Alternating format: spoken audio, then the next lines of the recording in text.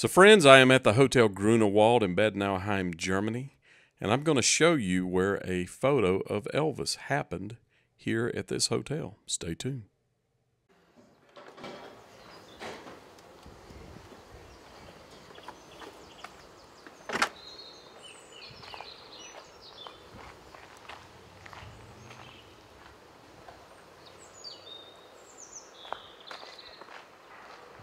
Boy, the weather's nice.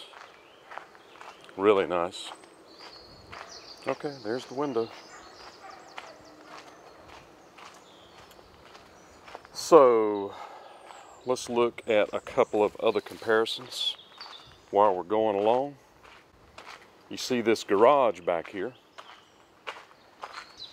This is Elvis standing in front of that garage.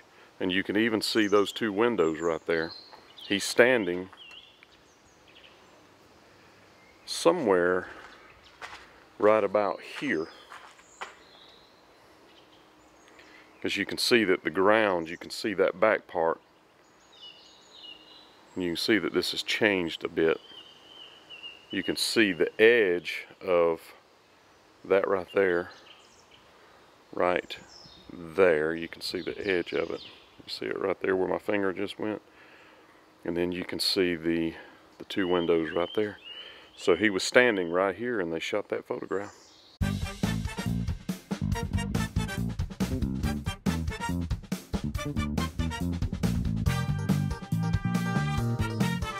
And if you're new to this channel, Adventures of the Spa Guy, I have more than 600 Elvis videos. And don't forget to check out my sidekick, Globetrotting with Trey.